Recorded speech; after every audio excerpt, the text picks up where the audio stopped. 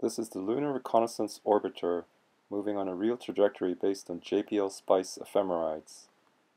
The model of LRO was created by Brian J, and I created a GUI tool for the Mac that can convert and optimize 3D models for use in Celestia.sci. The terrain map in this view of Tycho crater is generated from laser altimetry data from the LRO. Here we briefly switch to a topographic coloring of the LRO data using the Alternate Surfaces feature of Celestia.sci. Early on in the program's development, I fixed an issue that caused incorrect terrain lighting on certain graphics cards. Recently I helped to optimize the tool for generating terrain maps from raw science data. Real-time plotting is the newest feature that I have added to Celestia.sci. Here I am simulating gravitational microlensing to reveal two exoplanets in a distant star system.